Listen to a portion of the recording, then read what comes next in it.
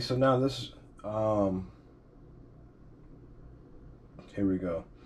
Yeah, so this is um Sasha's um supplementation or essentials. Um she has a, a multivitamin, uh, a mobility joint, uh probiotic, Aller-Immune, and salmon oil, salmon bites. So this is pretty much just uh, just some just some addition to what her her her nutrition is. So if there is some areas that we do miss, she is she is getting those other um, nutrients. But for the most part, um, her dish is pretty covered.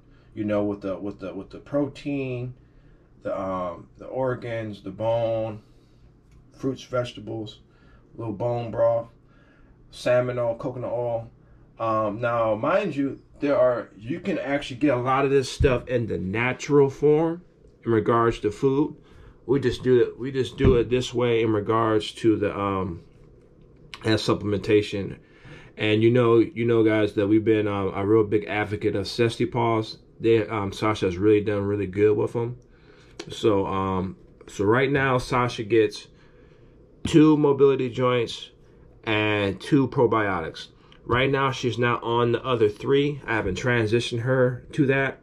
You, you know, I mean, I know you guys probably didn't hear me saying that often through this video, transition, transition, transitioning. It's because now I've learned so much.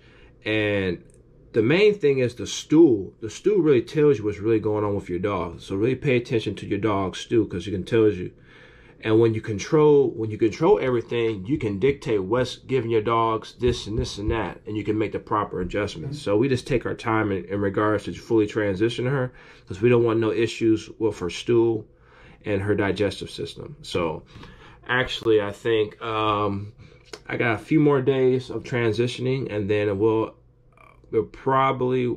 I think I think first I'm going to increase the the salmon oil for three days, and then after that I'll increase the zesty, um, the um, the mobility and the probiotic. Um, very important while you're feeding raw to have your dogs have a, a good probiotic, help them digest it and get the nutrients of it. And then you know sometimes some dogs have a, um, a overbalance of good bacteria to bad bacteria. Sasha's one of them dogs, so she definitely has to have a probiotic that helps balance it out. And um, yeah, obviously mobility joints is good. You know, it's definitely good for the you know for the hip for the hips and the, you know for the joints and all that. And the salmon oil helps helps with that as well. Helps lubricate the joints and all that. So this is Sasha's um, supplementation slash essential stack. So um, so yeah, overall this is um, Sasha's 2022 um, uh, nutrition. You know. Um, she gets a cup of a cup of Victor. She gets her raw dish, and then after her raw dish, she gets um, a couple of bites, a, a couple of treats of the of this.